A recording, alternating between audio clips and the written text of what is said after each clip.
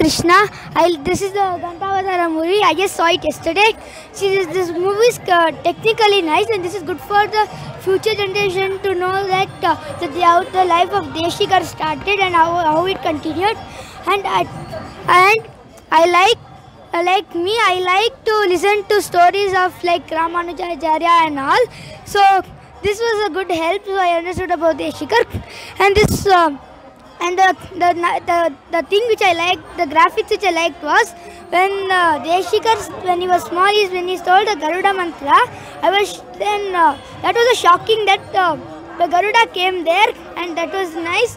And I uh, and that's that's the thing which I liked about liked about the movie. Thank you. The movie on uh, Vedanta Deshikar titled Ganta, Ghantavatharam was released on 31st December yesterday in Venugopala Swami temple. I was very fortunate to be a part of the audience witnessing the first screening of the movie.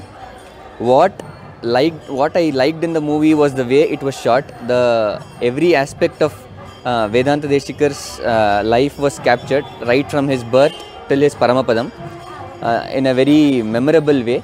Uh, there were a lot of aspects which I didn't know about Vedanta Deshikar and which I got to know from the movie.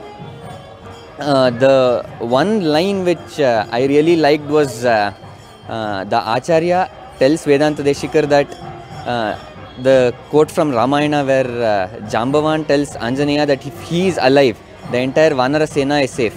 And just like that, if Vedanta Deshikar is alive, the Sri Vaishnava Sampradayam is safe.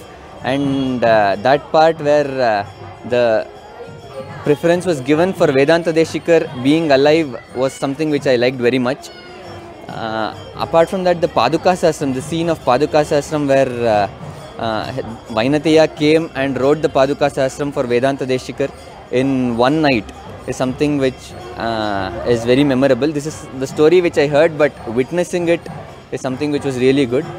Apart from that, the emotions, the acting of uh, Ananta Padmanabhachar Swami was really good. Uh, I would request every youngster of uh, age group between 20 and 40 to watch the movie specially uh, because uh, that is where the growth of the Sri Vaishnava Sampradaya lies. Uh, uh, and uh, every it is a movie which, which everybody should watch, but uh, especially that uh, group of youngsters should be watching so that the Sri Vaishnava Sampradayam will have a really good future.